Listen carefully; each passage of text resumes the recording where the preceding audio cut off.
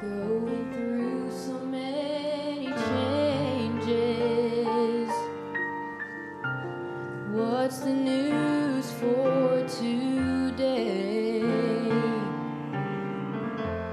Somebody's hurt, somebody's aching. Somebody's trying to find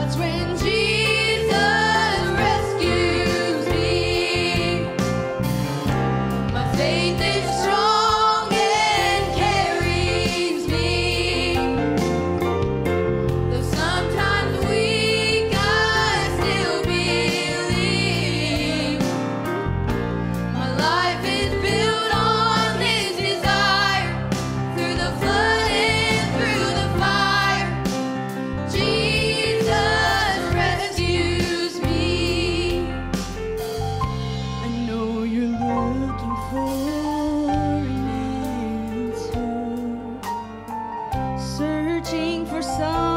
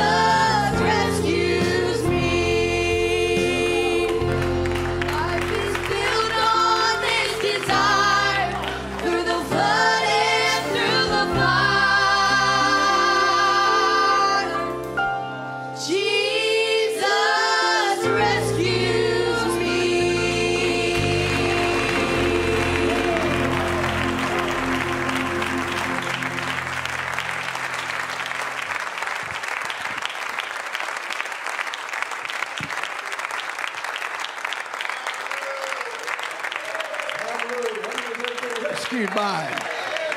Hallelujah. Blessed be the name of the Lord.